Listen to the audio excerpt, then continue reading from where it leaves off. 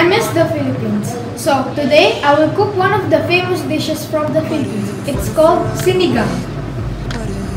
My version of sinigang is simple but delicious. I have here beef which has been simmering for an hour. Then we will add sinigang mix.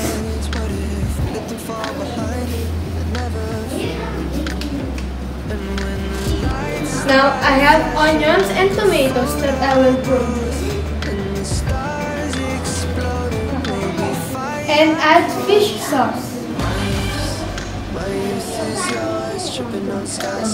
Let it boil. Add your favorite vegetable. Mine is spinach.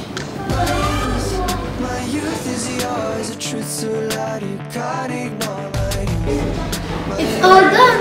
Here's my version of beef sinigang. So delicious. You should you should make one.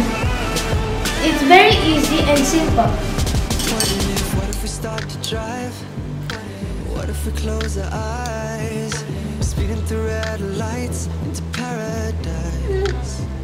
Cause we've no time for getting old. What body time is ours. Cross your fingers, here we go.